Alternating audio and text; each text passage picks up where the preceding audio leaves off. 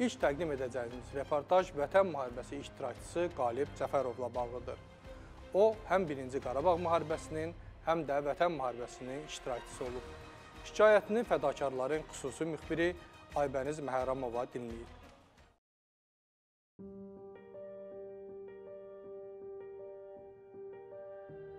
Qalib Cəfərovun 48 yaşı var. Taluş, Suqovuşan və Ağdərənin azad olunması uğrunda vuruşan müsahibin müharibədə 26 oktyabr və 2 noyabr tarixlərində düz 2 dəfə yaralanıb. Ermənistan silahlı qüvvələrinin açdığı minamyot mərmisinə tuş gələn Qalib 26 oktyabr tarixində barotravma alsa da göstərilən tibbi yardımdan sonra döyüş bölgəsinə qayıdıb. Bütün bizim işğal altında olan torpaqlarımız geri qaytarırlar. Və bu əskər zabit heyətindən Allah hamısının ailəsini sağ eləsin. Allah onlara yar olsun. İnşallah hamısını alarıq. Allahın köməliyi ilə. Evet, tabii burada moraller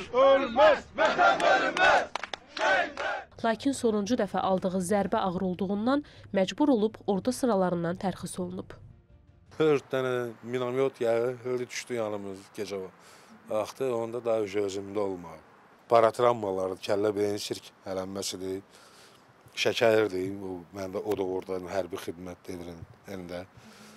Kəllə beyin travması, orada statiyaları var, maddələri var, 14 da, 7 B, 13 Ağır eş, eşitmədir.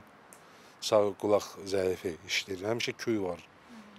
Başımda küy var. Yerməyinizdə problem. Nevrolo nevroloji vurdu. O məs göz gözləməzdim. O əsəb sinirlə bağlı olan şeylər mənə dedilər. Sadəcə sağ tərəfim ayağım necə deyirlər, atır da, donur, keyimə, birdən sağ ayağımı hiss hiss eləmirəm bel nahiyəsindən aşağı qədər keyir belə şeylərə görə ona görə əsa ilə yəni hələ ki öz müdaxilə eləyirəm. Qalib Cəfərov ağır kontuziya aldığı üçün danışma qabiliyyətində də problemlər yaranıb. O müxtəlif xəstəxanalarda müayinə və müalicədə olunub, lakin bu o qədər də effektiv nəticə verməyib. Elə müalicə aldığı nevroloji xəstəxanalardan birindən ona verilən epikrizdə müalicəvi və əmək məsləhətləri bölməsində bu cür qeyd olunub. Xəstə özünə qulluq edə bilmir, kənar şəxslərin köməyinə ehtiyacı var. Qalib Cəfərova Müdafiə Nazirliyinin hərbi həkim komissiyası tərəfindən verilən şəhadətnamədə də xəstəliyinin ağırlıq səviyyəsi qiymətləndirilərək həm dinc dövrdə, həm də müharibə dövründə xidmətə yararsızdır qərarı verilib. Lakin Dövlət Tibbi Sosial Ekspertiza və Reabilitasiya Agentliyi vətəndaşın sağlamlıq vəziyyətinin əlillik səviyyəsində olmaması qənaətindədir. Neçə dəfə müraciət eləmisiniz əlilliklə bağlı? Mən 3 Hər birində də imtina gəlib. Bəli, birində imtina səbəbi, səbəbi orada 2 ay 4 ay ağırlaşma. Sonra yenə məni gö göndərdilər göndərişlə psixiatriya şöbəsinə, nevrologiya şöbəsinə. Mənə deyirlər mərkəz ekspertizadan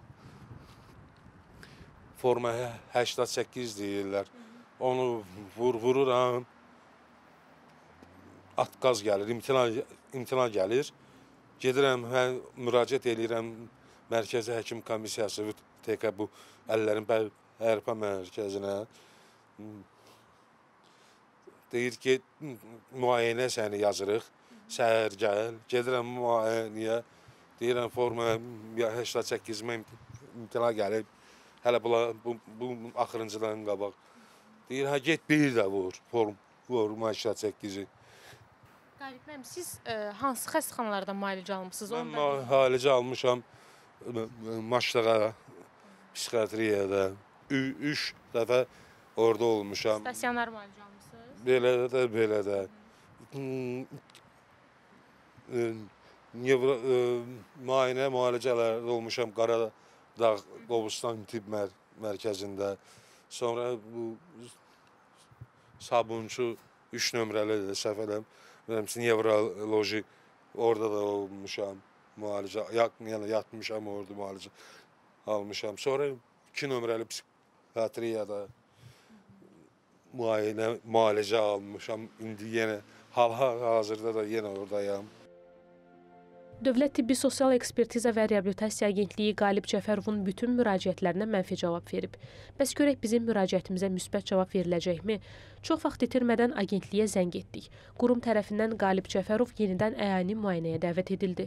Nəticə 14 gün ərzində bəlli olacaq. Biz isə mütləq bu prosesi nəzarətdə saxlayacağıq. Qalib Cəfərovun problemi mütləq şəkildə nəzarətimizdədir və bu məsələyə çox yaxın zamanda yenidən qayıdacağıq.